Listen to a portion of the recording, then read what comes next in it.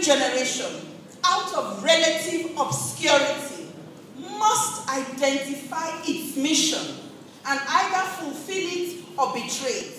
So the question now is this What is the mission of this generation?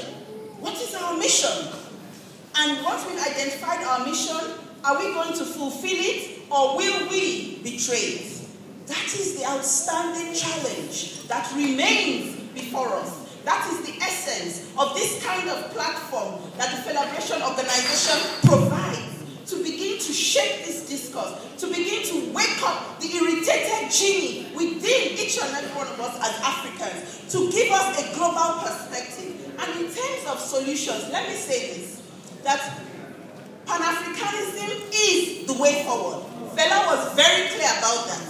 Marcus Garvey was very clear about that. Kwame Nkrumah was very clear about that. All our heroes, Mbuya Nehanda, uh, you know, Topman, you know, Mama Fela, all these people that it is our fortune together as a global nation that will bring us, you know, the, the victory that we seek. And on a last note, I leave you with this slogan.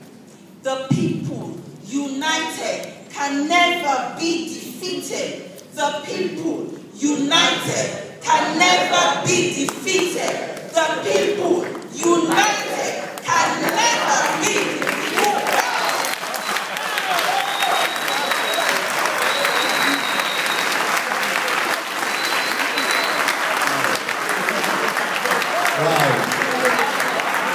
Wow. Give it up one